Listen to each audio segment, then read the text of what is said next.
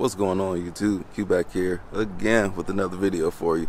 Today's video, I'm about to beat a dead horse. Not a Mustang video, but a Camaro video. Unfortunately, it's snowing, but this is a topic that I gotta get down again. And I went over this in the past, but I still get a lot of inquiries on the Camaro's visibility. And I'm just gonna walk through it so so you can see for yourself. I'm gonna put the GoPro on my head, do a point of view video so you can see what I see when I drive the Camaro. Now we can't go crazy out here because it is randomly snowing. It was like 60 degrees a few days ago. Now it's snowing. And I already planned the video, so gotta go through with it. If you look at the ground, it's not accumulating, so we're good. Just a little bit on the vehicles. So that's what we're gonna be doing today. Point of view, Camaro visibility. And I will show you a struggle that I do have in the Camaro because of the way that it is designed. Now me personally, it is not a problem. The visibility is not a problem for me at all in the Camaro. But initially coming up to a Camaro, it can seem quite intimidating. So I'm about to go through that today. Don't forget to like, comment, subscribe, hit the bell, browse the channel. Let's jump into the video.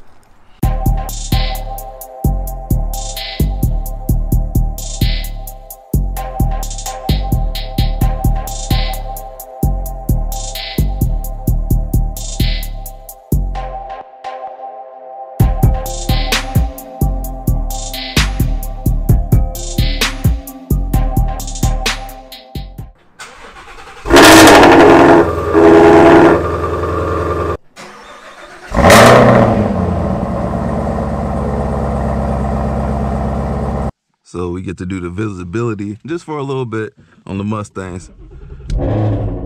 So we can kind of compare just a little bit. I'm not leaving the house, just pulling out the garage so you can see what you can see. Hopefully y'all can see. So the Mustang, you can see more. But it's not so much more. It's like, man, this Camaro is undrivable.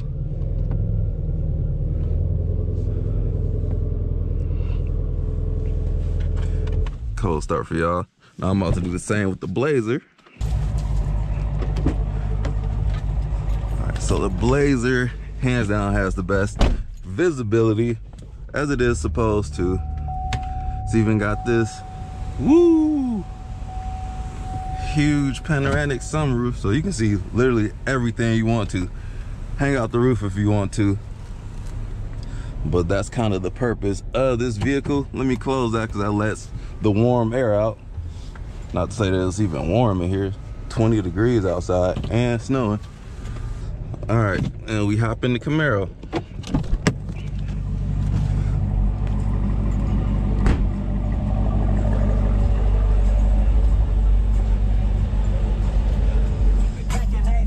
Shut up chingy. All right heated steering wheel on. All right forgot to buckle up.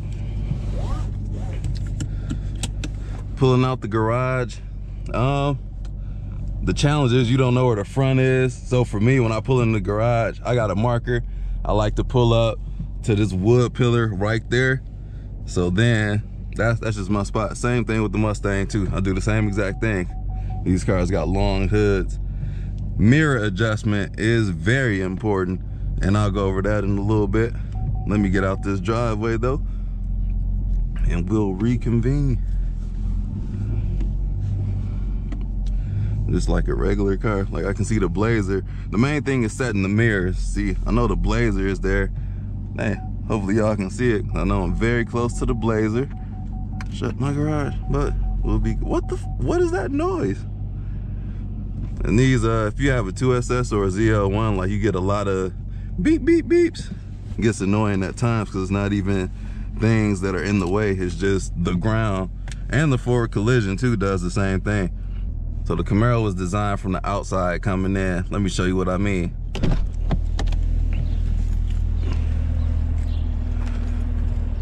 So when I, ah, when I say that, it's like the windows, look how small the windows are. And I have small hands, so you don't get a lot of window size. And that's everybody's main problem. The back window is larger than the side windows, but it's hard to see out of in the back.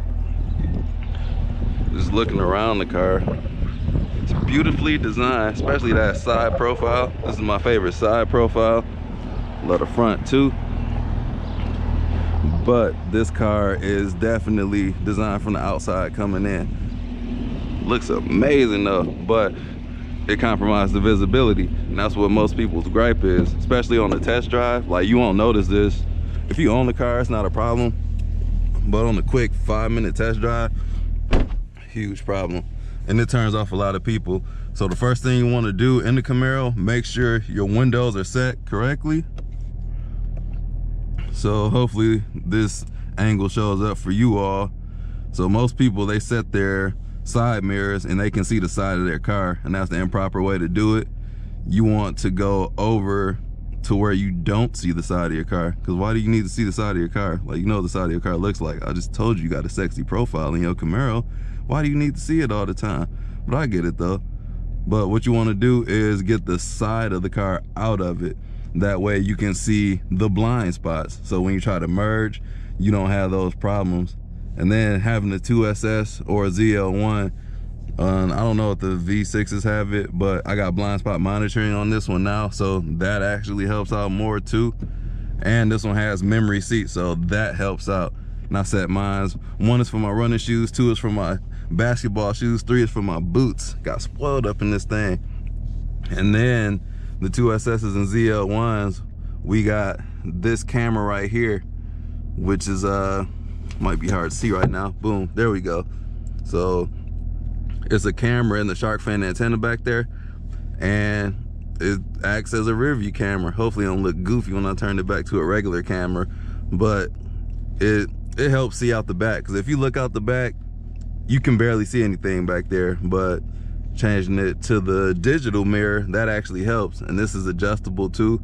So I keep mine at the same size or what I would see out the normal mirror because going back and forth and at nighttime you can see the flickers of the LEDs and other cars. I don't really like all of that. But yeah, you can adjust it. You can zoom in, zoom out. But I like to keep it around the same. Adjust the brightness, the height of it. That's very helpful. But that's really the main thing. You can notice it's darker in here once I close the sunroof. That's why I really like it brightens things up in here. Let me turn that back to the regular mirror because the digital mirror, it actually changes the angle of the mirror and the sun is behind me. But let me show you all, like once you get your mirror set, it's not really a problem. It's high belt lines, but that's, you get high belt lines in the Charger too. The Mustang is better with that. The dash is pretty high. You don't get to see the sky. Like in most cars, you would be seeing like more of up here and a little more in front of you but that's that doesn't make the car not safe because you're in the field of view of what you need to see. It's not like a a Tesla Model X where you can see the whole sky like you can see what you need to see. It's not unsafe to where you can't see what you don't where there's something that you do need to see that you can't see. But that's that's just how this car is and if you go into it knowing that you'll be fine and adjusting the mirrors that's like the main thing. Because my first time driving the Camaro I'm like man I can't see jack out of here especially the front. But now I'm kind of used to these long hooded cars so I know what I'm doing when it comes to that. But let me show you this is probably the biggest obstacle I have ever came across in a Camaro. This ATM this thing is a beast right here. Because the way that it's angled I'm defeated man you see this I can barely man so for this, I can barely reach the pen. And then like once I gotta go to the touchscreen, I can't even reach that. Like this is a struggle.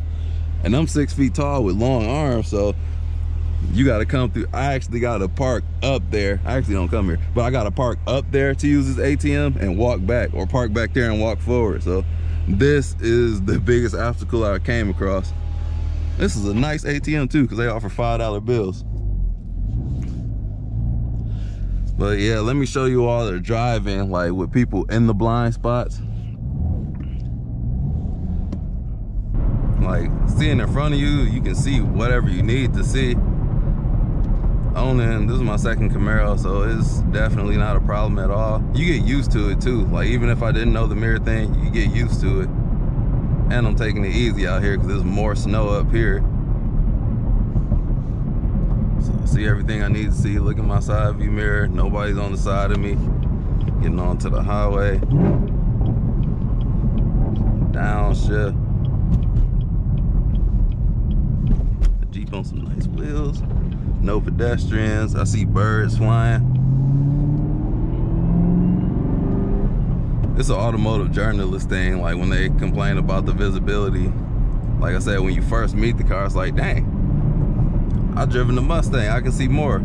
The Challenger, I can see more. But this car is different. But like two-seaters, like a Corvette, like you get better visibility than the Corvette. Nobody complains about that though. I don't know if it's because the back seats, because it has back seats or what. As you can see, I'm looking in my mirrors. I'm about to just get over because I know, hey, that's nice. But yeah, I can see other people approaching on the side of me they're like way back there. Let me slow down the grandpa speeds out here. So just looking in my mirror, I can see that that is, let me see when they get in the light. That look like a Dodge Dart, a Buick LeSabre. No, that's Lincoln MKS. I can see all of that. I can see him getting out of his lane.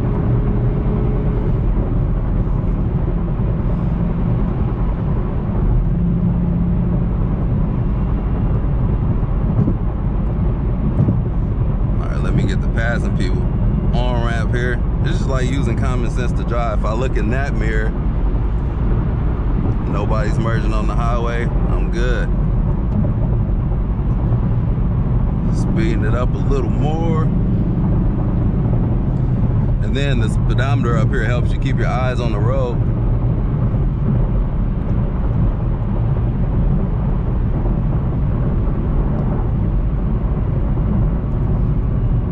Snow came out of nowhere.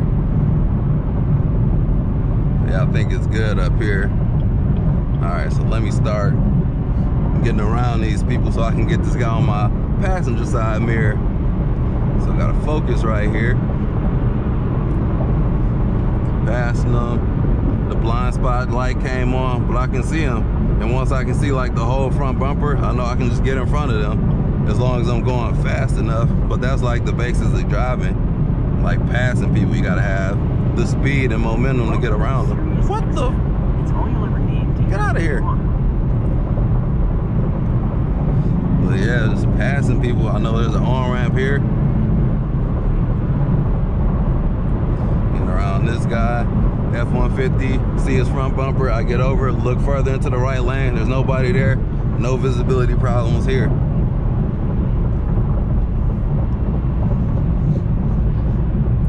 You can drive, if you know how to drive, you can drive the Camaro.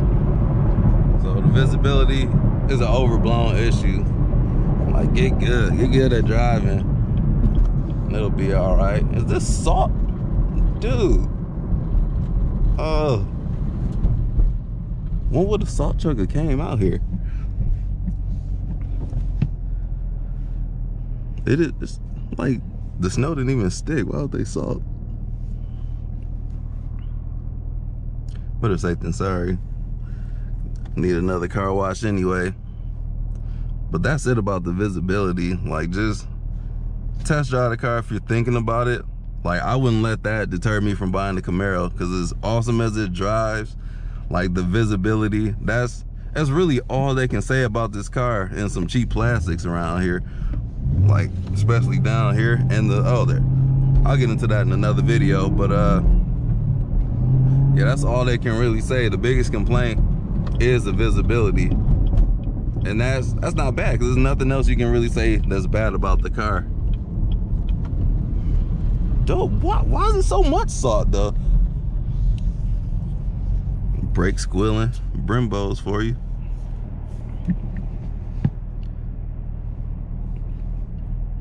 See both of these trucks in the side mirror.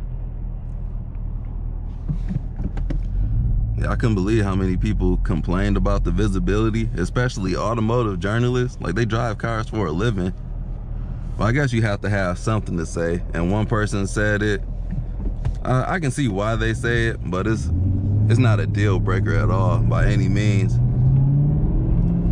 So I'm gonna end you all with that. Let me get this GoPro off my head because I look goofy. Look at this. Gotta go give me a thumbnail real quick. Then the F-150 is driving in both lanes behind me. You can see everything. Like even though I didn't need to see that, I can see it. And I can adjust my driving on that. Ooh. Oops. All right, so hopefully this video helps you out with your impressions of the Camaro's visibility. Like I said, for me, it's not a problem. I haven't had any close calls in the Camaro. Set your mirrors. That's it. And get good at driving. So if you got any questions about the visibility, let me know. If you have a Camaro and you have a visibility problem, let's talk about that as well. So I'm Q. Thank you for checking out this video. Like, comment, subscribe, hit the bell, browse the channel, and I'll catch you on the next video. Peace out.